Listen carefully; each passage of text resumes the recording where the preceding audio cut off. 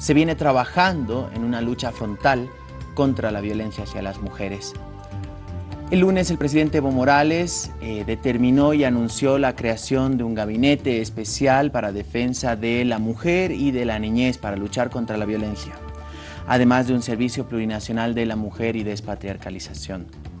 Es muy importante ver cómo desde las instancias de gobierno se viene trabajando en este tema y cómo la sociedad además viene también tocando este tema. Y para hablar justamente con representantes de la sociedad, de cómo eh, de luchadores, por luchadoras, en este caso por eh, acabar con la violencia hacia las mujeres, está la representante del Observatorio para la Exigibilidad de Derechos de las Mujeres, la señora Eulogia Tapia. ¿Cómo estás, señora Buenos Eulogia? Días. Muchas gracias por estar junto a nosotros. Gracias por darme la oportunidad también de plantear eh, las actividades que estamos realizando. ¿no?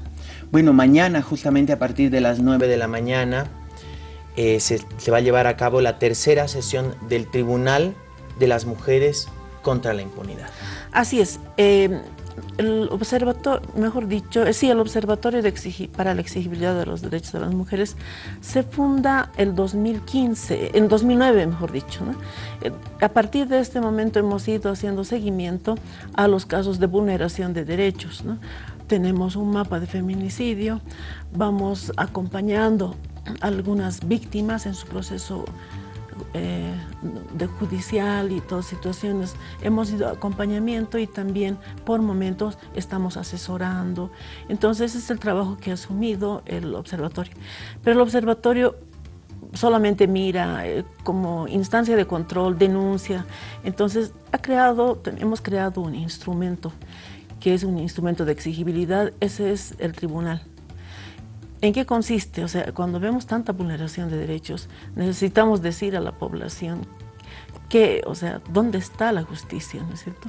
En ese sentido hacemos una, una- profunda mirada de, de todos los casos, de todos los actuales judiciales, porque también dentro de nuestro grupo hay abogadas, hay abogadas que, eh, tienen esta sensibilidad. Con ellas y con otros profesionales miramos en profundidad todo el proceso judicial, vemos todos los legados, eh, todos los actuados que- que tienen y hacemos un resumen identificando en qué situaciones, dónde se ha ido eh, generando la vulneración de los derechos, dónde eh, han ido ocurriendo los problemas en el proceso. Identificamos a las personas que han incurrido en este delito, en este caso las autoridades. Entonces, eso es lo que hacemos y ya tenemos la tercera sesión. La primera sesión hicimos el 2015 con el caso de Juana Quispe. Usted debe recordar la, ex, la concejala a la que eh, asesinaron. ¿No? Para nosotros un magnicidio político. Eh, y también feminicidio, ¿no? Entonces, por ese caso hicimos, porque estaba impune a cinco años de su muerte. A la fecha sigue impune. ¿no? Entonces, el año pasado hicimos el, eh, otro eh, también tribunal, donde ya vimos, o sea, después de la sentencia hicimos un tribunal para identificar cuáles han sido los responsables de esta vulneración de derechos. A la fecha hubo ya apelación y hubo una audiencia de apelación el 18 de octubre de este mes. En una única audiencia se trató nuevamente el tema, estuvo ausente eh, el Ministerio Público, desconocemos las causas de por qué no, fiscal no asistió.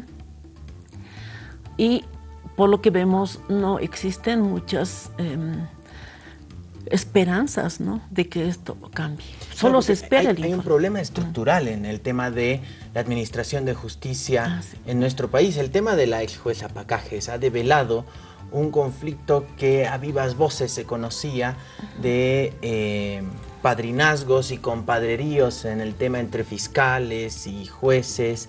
Y, uno de los casos impunes también es justamente el caso que este año ustedes han tratado, que es el de Isabel Pico, que hasta ahora eh, la persona que está denunciada por el feminicidio está libre. Está libre.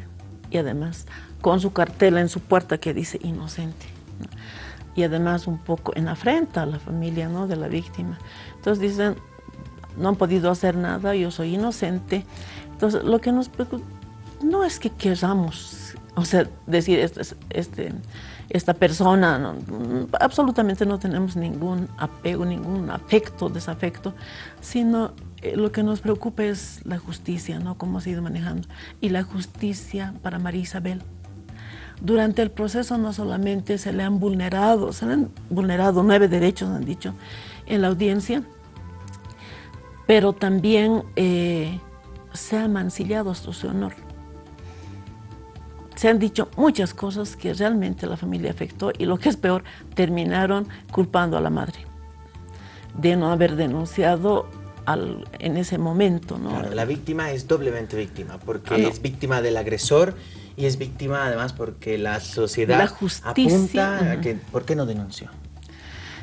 Sí, denunció, denunció en dos oportunidades la víctima en vida. Pero, ¿qué ha pasado? En, en el juicio han anulado esa, esa denuncia. Puede, puede creer eso. El informe médico del, de forense, de, de post-mortem, por supuesto, ¿no? de la autopsia, se lo ha anulado. Se lo ha anulado y al médico, eh, doctor Cristian Vargas, que es el que hizo la autopsia, no lo han dejado eh, participar en el juicio. O sea, no ha sido, el, no ha sido un testigo en este, en este juicio, el, principal testigo. No, ligeramente, él estaba en Cochabamba y necesitaba tiempo para venir. Podían, vino una vez, llegó tarde y no le dejaron participar. Entonces, em, sea como le digo, esa es una de las vulneraciones por las que ha salido absuelto. que no esté el principal testigo y que además se anule ese, informe. Y eh, han anulado porque este eh, ¿cómo se llama? El informe médico-patológico dice que hay una ruptura del hígado. O sea, le ha golpeado tanto que le rompió el hígado. Entonces, esta ruptura del hígado, hay una foto, no me acuerdo ahorita exactamente cómo se sacan fotos, ¿verdad? Este informe, se, se perdió la foto de este, eh, el informe fotostático de la autopsia anularon la denuncia de la víctima. Después de la golpiza ella fue al médico forense, denunció. Hay fotos inclusive. También vemos que el médico forense no hizo suficiente, eh, no, consideramos que no ha hecho un suficiente, una exploración, digamos, en el organismo de la víctima en ese momento. Ahora, señora Eulogia, este caso de María Isabel es, se suma a la cantidad de casos de injusticias, de eh, problemas estructurales que existen respecto a eh, la vulneración de los derechos de la mujer.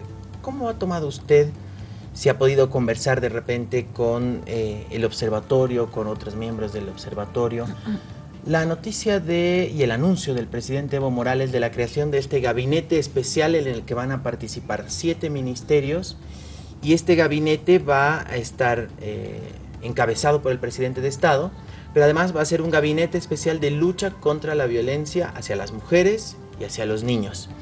Y además ha anunciado también la creación de un servicio plurinacional de la mujer y despatriarcalización que va a llevar el nombre de la ex defensora Ana María Romero de Campero, que va a ser una especie de defensoría de la mujer. ¿Cómo han tomado estos anuncios y si creen que esto va a coadyuvar a justamente este tipo de casos que ustedes los analizan? Puedan tener otro tipo de impacto a través de estas oficinas? A ver, en el país, es, creo que Bolivia es uno de los países que mejor normativa tiene para este tema. tenemos muchas leyes, pero no se cumplen. Los mecanismos no se cumplen. Y además esto el, el, el gabinete especial que se ha formado, ¿verdad? Ya, ya hubo un anterior gabinete de cuatro ministerios por este mismo tema que no funcionó. Eh, el problema de violencia es un problema estructural. La solución tiene que ser también a ese nivel. ¿Por qué no está funcionando el CIPASE? Porque el CIPASE ya eh, debía estar en, este momento funcionando y debía tener los recursos y demás para que esto realmente funcione. Eso debía ser este, un, aporte importante ¿no? para para controlar este tema, el tema de la violencia.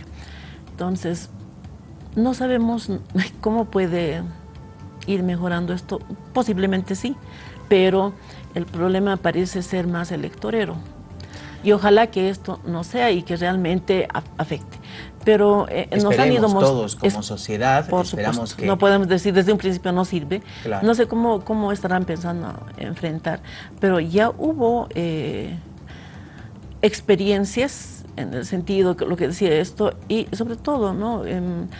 las, cuando se aprobó la ley 348, ¿no es cierto? Se exigió ya con, el, con la reglamentación, se asignó unos recursos, no se cumplen, no se aplican. Porque además esto pasa también eh, que los, eh, vivimos en un país con autonomías, entonces los distintos niveles de gobierno, es decir, las gobernaciones, y los municipios también tienen presupuestos y en la ley está establecido que tienen presupuestos del IDH, del Impuesto Directo a los Hidrocarburos, para justamente la construcción de los albergues, para las mujeres que sufren violencia, pero esto tampoco se está cumpliendo, es decir, este no es un tema solamente del gobierno nacional, sino es un tema que eh, inmiscuye a todos los niveles de gobierno y también a la sociedad. No estamos siendo capaces de solucionar este tema. Hemos exigido nosotros que se declare alerta nacional sobre todo en los departamentos donde existe mayor, eh, eh, mayor feminicidio, mayor, mayores estadísticas de violencia. Se declaran, en algunos declararon alerta, pero no, se, no está acompañado de recursos. Cuando se dice alerta roja, alerta amarilla, ¿no es cierto?, por alguna situación de eh, desastre natural, ¿Qué hace un, gobierno local? Asigna todos los recursos para solucionar ese problema.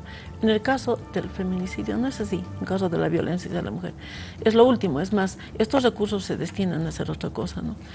Y a veces terminan solamente en algunos eh, ítems que no necesariamente garantizan calidad en el servicio. Claro, en dos secretarias, de repente un fotógrafo o un diseñador gráfico. Y o puede ser un trabajador social y un abogado también, pero en el tema de violencia realmente necesitamos gente con sensibilidad y con expertise.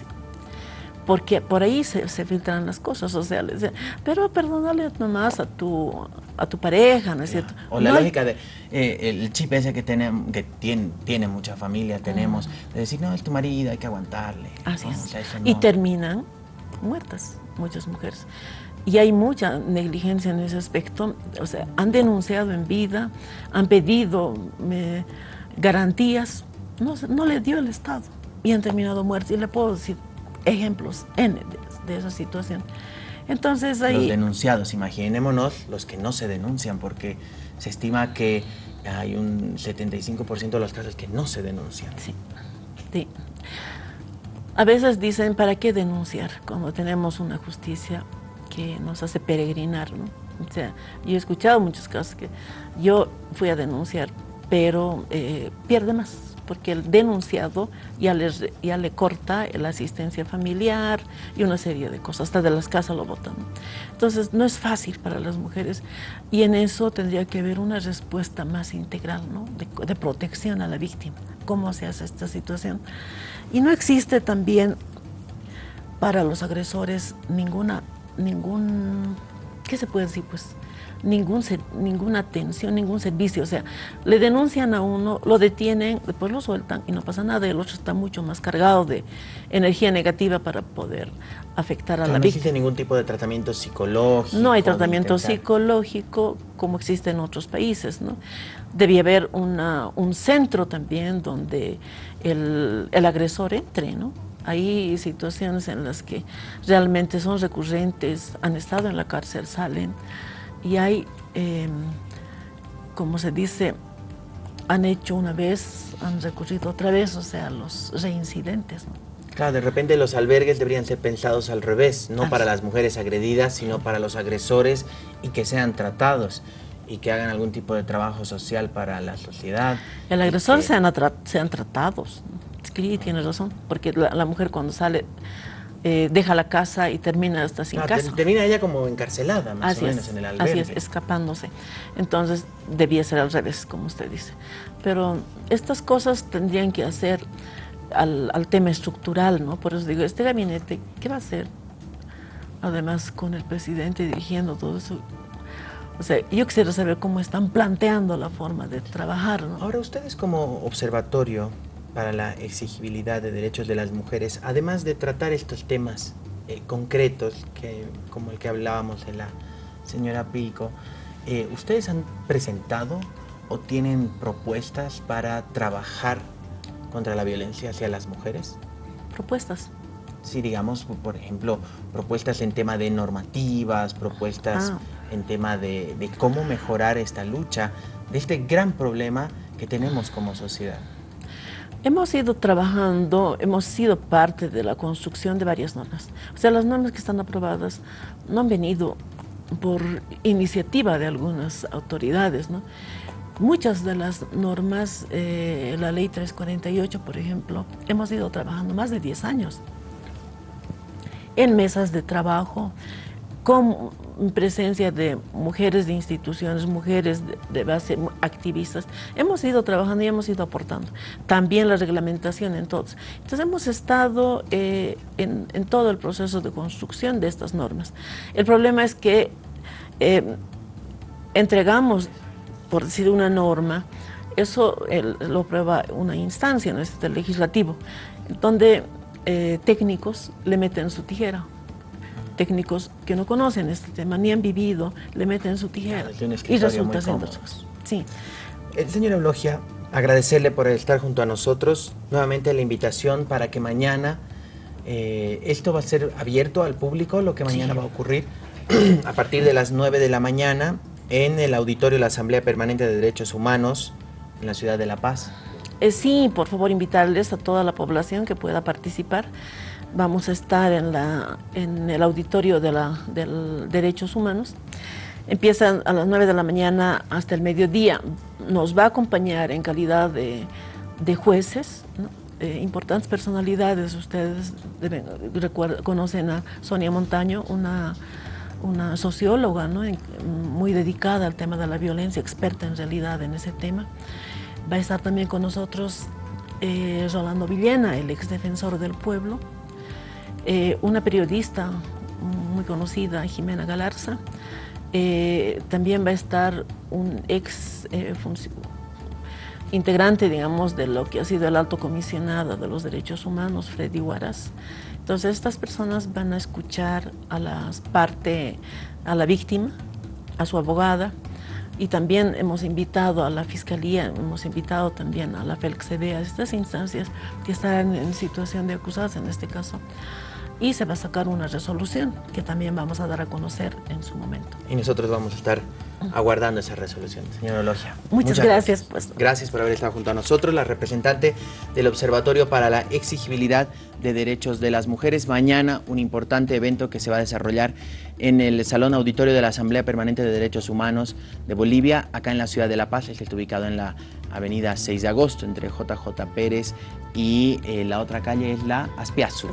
Eh, a partir de las 9 de la mañana. El ingreso es totalmente libre, así que es un momento importante para reflexionar acerca de cómo estamos trabajando como sociedad para erradicar la lucha, eh, para erradicar más bien la violencia contra las mujeres.